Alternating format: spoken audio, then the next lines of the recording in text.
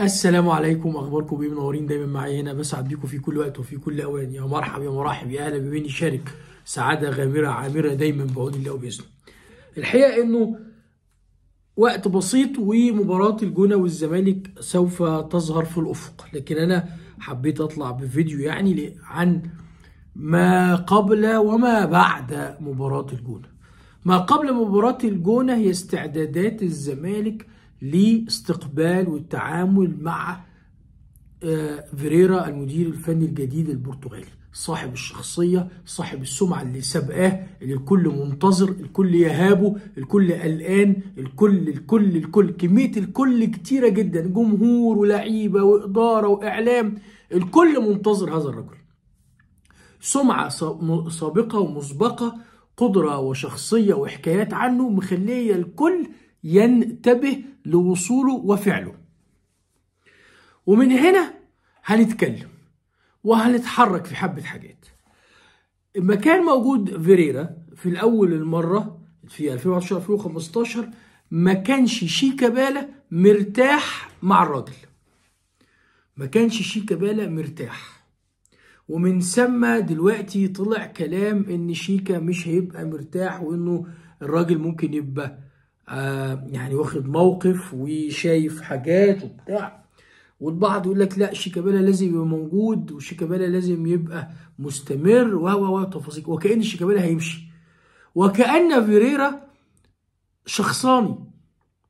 طول ما اللاعب بيدي وبيلعب وبيجتهد هيلعب. سين صاد جيم لام نون ايا كان. وأنا بقول لكم إنه من اللعيبة اللي ممكن تكون ليها في اللحظات اهو عنده 35 سنة اهو شيكابالا ولا 34 سنة. في الوقت ده ممكن يستفيد من هذا الرجل إن قرر شيكابالا والقرار في ايد شيكابالا انه يلتزم بما يقوله الرجل له وإنه حالة العصبية اللي ساعات بتظهر عند شيكا والنيرف العالي والعصبية دي قدر يخفيها ويبعدها الفترة دي ممكن نشوف شيكابالا مختلف تماما شخصية وقصة وحكاية ملهاش أي علاقة باللي إحنا شفناه قبل كده. ليه؟ لأن المدير الفني ده مش أي مدير فني. أنت بتبالغ يا شادي هو راجل لسه عمل حاجة هو راجل أنا بقول لكم من غير ما أشوف. ستروا لعيبة في الزمالك بتعمل تكتيك وانضباط تكتيكي لا غبار عليه. النتيجة بتاعت ربنا على فكرة. يعني في الآخر أنت اجتهد. وربنا سبحانه وتعالى يكتب ما يكتبه لكن الحقيقة إنه اللي إحنا بنتكلم فيه واللي إحنا قاعدين نتكلم عن إن الراجل هيعمل وهيعمل في إنه اللعيبة دي العناصر دي اللي فيها جودة عالية جدا أنا أعتبرها إنها أكتر من كجودة ولعيبة أفضل من اللعيبة اللي كانت معاه في 2015 واقول لكم إن اللعيبة دي لو قررت تلتزم وتسمع الكلام وتنفذ كلام هذا الرجل البروفيسور فعلا وقولا ستجدون أداء غير عادي. ومميز واللعيبة دي مع التنفيذ وعندها الروح اختراق. عارفين الطيارات اللي بتعمل اختراق الصوت كده؟ هو ده بالظبط اللي ممكن يحصل. تلاقي اختراق للبطولات. يا شادي انت بتبالغ والاهلاويه يقعدوا. أنا بقول لكم اللي شايفه اللي أنا متوقعه. لكن في جميع الأحوال الموضوع كله بإيه؟ بإيد ربنا سبحانه وتعالى. لكن اللعيبة عندها حافز إنها تثبت نفسها عندها دلوقتي مدير فني هيتعلموا منه سامعين من زملاتهم اللي كانوا موجودين أو زملاتهم اللي مشوا إن الراجل ده شخصية عادلة جدا وبيدي لكل لاعب حقه واللاعب يلتزم يلاقيه هو واقف جنبه وبيدعمه. وطارق حامد دليل. قلت لكم الحكاية دي. طارق حامد دليل ست شهور ما بيلعبش تحت إيده. آخر الأوقات لعب لكن اتعلم. استفاد. فبقى طارق حامد دلوقتي اللي مش هيستفيد من اللعيبة دي من آه فيريرا عشان بعد سنة يبقى حاجة تانية يبقى دي غلطته. وبقول هنا وبذكر الأسماء أهو. أنا بقول أسماء بقول إمام عاشور وبقول أحمد فتوح والحسام أشرف. بقول مجموعة الشباب دول وأحمد عيد. الأربعة دول لو ما استفادوش من الراجل ده وتعلموا وتركيزهم وانتباههم بقى في الماتشات يبقى أنت خسارة. أخونا سيف الجزيري نفس الشيء أنت لسه قاعد مع الزمالك وقدامك لو أنت اتحسنت محدش يجي ناحيتك. فبالتالي الراجل ده هيفيد الكل. شيكابالا هيستفيد سيف يستفيد إمام يستفيد استفادة غير عادية وغير مسبوقة كمان.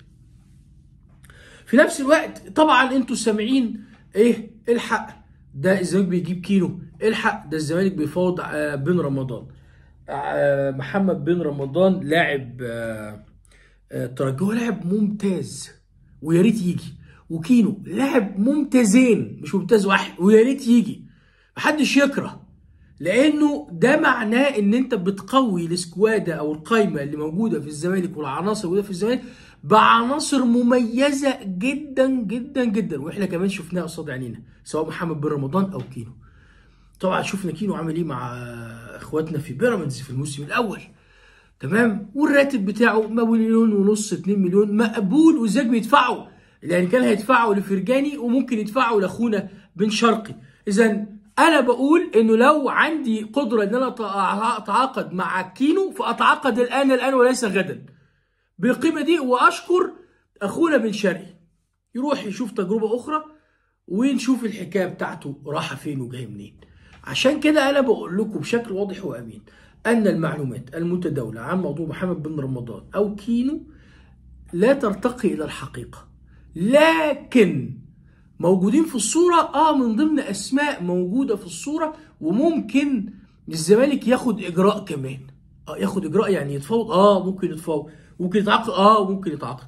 الزمالك جاي له في نهاية الموسم ده ما لا يقل من بيع لأنه خلي بالكم جلطة سراي هيبيع مصطفى محمد وزيك ليه 15% وبالتالي ما هيدفع لك أربعة وغير ال 15% فهو على الأقل يبقى بايع أخونا آه، مصطفى محمد ب 12 13 مليون يورو. تاخد أنت منهم أربعة والتوتالة بتاعتك من ال 12 13 مليون مليون ونص. تمام؟ فأنت ممكن يجي لك من مصطفى محمد بس في الصيفية دي حوالي 6 مليون دولار غير الاثنين اللي راحوا بقى يعني ايا كان اللي جوهم في الأول. 6 مليون دولار لا تعرف تجيب لعيبة. أسماء وقيمة فنية كويسة غير اللي ممكن تبيع لاعب من هنا أو هنا أو هنا. كل ده جايز وكل ده مقبول وعشان كده زيك هيبقى معاه فلوس. ما تقلقوش من ناحية الفلوس. نهائي. لكن الزمالك لم يدخل حتى الآن في مفاوضات حقيقية مع بن رمضان أو كينو انتظارا للبروفيسير. هذا الرجل الذي أصبح الآن يملك القرار الفني في التعاقد مع اللعيبة واستمرار اللعيبة أو عدم استمرار اللعيبة بشكل أمين جدا جدا. عشان كده هنروح بقى للي موجودين. خلي بالكم إن المستشار مرتضى منصور لما اتكلم اليومين اللي فاتوا جاب فيديو في محمد آه، أبو جبل وفي عمر السعيد وفي حازم إمام وفي رزاق سيسي وقال إن طارق قعد وقال إن بن شرقي اكد فدي ستة. من أصل إيه؟ كان في 11 الأول بنتكلم عنهم وراح منهم أو كمان 13 لأن ال 13 لاعب آه في 13 لاعب كانوا المفروض في يناير يمشوا يقدروا يوقعوا أي حد. منهم اتنين حسين لبيب لحقهم ومحمود الونش وأخونا آه، أحمد سيد زيزو. خلصنا. وكمان عبد الله جمعة. تمام؟ أدي الثلاث عقود اللي خلصتهم اللجنة السابقه بقى بقى 11 مين هم ال 11 ال 11 كان محمد عبد الشافي محمود محمود عبد العزيز زيزو مصطفى فتحي ونجم محمد أشرف رؤى طارق حامد محمد أبو جبل آه عمر السعيد آه مين تاني؟ رزاق سيسيه بن شرقي. 11 لاعب. راح مين في ال 11 دول؟ مشي أخونا محمد عبد الشافي وقع أخونا محمود عبد العزيز ومصطفى فتحي مشوا والستة قعدوا بقى اتنين. الاتنين دول ونجم ونجم ومحمد أشرف روح ما حدش يتكلم عنهم خالص لا هم قالوا إن إحنا عايزين نجدد ولا الزمالك قال أنا عايز أجدد لهم ولا أي حاجة. الحقيقة إن أوراقهم تم إحالتها زي ما بيقولوا كده لفيريرا. تحويل أوراق آه آه رؤى ونجم إلى فيريرا هو اللي هيقرر في نهاية الموسم. لا. في ناس ممكن محمد أشرف روح ممكن يقعد معاك لنهاية الموسم لكن ممكن جدا ونجم يمشي في في مايو أو يونيو بالكتير. اذا هنعرف إزاي قاعدين ولا لا بناء على شغل بقى فيريرا اللي هيقول لنا أنا عاوز اللعيبه دي ولا مش عاوز؟ المعلومة اللي عندي إن الوداد اتفق بالفعل على إعادة محمد ونجم خلاص. والوداد اتصل الاتفاق مع نجم للعودة. أدي واحد. اتنين محمد أشرف رؤى جاي له عرض من ناديين. النادي اللي ذلك قبله الجونة والنادي البنك الأهلي. الاثنين عارضين على محمد أشرف رؤى التعاقد معاه من الموسم الجديد. وهو راجل فري. يعني يمضي دلوقتي وياخد الفلوس اللي هو عايزها ويتفق. والسلام عليكم. لكن كل الأمور حتى هما الاثنين موقفين القرارات النهائية انتظارا للراجل ده. هيلتزموا وهينفذوا. يمكن يمكن أشرف رؤى يقعد يسمع يلاقي بيتعلم منه وي... وينفذ فيقول لك لا أنا عايزه. ونفس الشيء نجم الراجل ممكن يستفيد منهم؟ آه ممكن يستفيد منهم. اذا أوراقهم بالفعل في يد فيريرا. بمناسبة فيريرا فيريرا برضو طلب آه إن الكابتن إسماعيل يوسف يعود يعود فالزمالك تواصل مع الكابتن إسماعيل يوسف وكان يوسف قال في كل مكان إنه بالفعل الزمالك تواصل معايا لنعود لرئيس الجهاز رئيس جهاز كرة القدم في نادي الزمالك. طيب إيه اللي حصل؟ الحكاية إن فيريرا هو اللي طلب الكابتن إسماعيل يوسف للعودة لأنه اشتغل معاه وعارف طريقته في العمل فعاوزه. بيعرف يتعامل مع اللعيبة إزاي بيحتوي برضه اللعيبة. وكمان وجود أخونا أمير مرتضى كمدير رياضي أو مشرف عام على الكورة. يعني أنت عندك دولة الكرة ممكن يبقى في يد في يد ثلاثة يشرف عليهم رابع. الثلاثة اللي في إيدهم دولة الكرة بتاعت الزمالك. لو جه الكابتن إسماعيل يوسف هيبقى أمير مرتضى والكابتن جمال حميد والكابتن إسماعيل يوسف. أدي الثلاثة ويشرف عليهم مرتضى منصور كرابع. دول الأربعة اللي هيبقوا يملكوا قرارات كرة القدم والفريق الأول. تعاقدات ورحيل تجديد وإنهاء واستغناء. هم دول. كابتن إسماعيل يوسف يقترب وبشدة للعودة متوقف على قرار زد.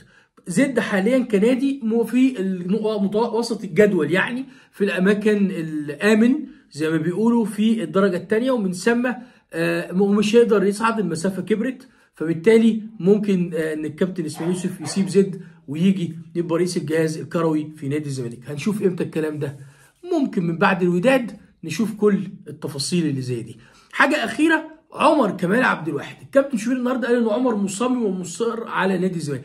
قلت لكم من شهر وارجعوا الفيديوهات بتاعتي إن كلمة شرف هي اللي مقعدة حاليا عمر كمال عبد الواحد في الزمالك. إصراره على تنفيذ كلمة الشرف. لأنه الموقع الموقع مع فيوتشر كان هو ملوش زي ملوش سيطرة عليه لأنه ممنوع من القيد. فراجل حر. لكن كلمة الشرف اللي قالها أنا راجع الزمالك ويوقع عقد ويحط بند في الفيوتشر إنه لازم يوافق هو على الاستمرار عشان ينفذ وإنه الحالة الوحيدة اللي ما ينفذش العقد إنه يقول أنا مش رايح الزمالك.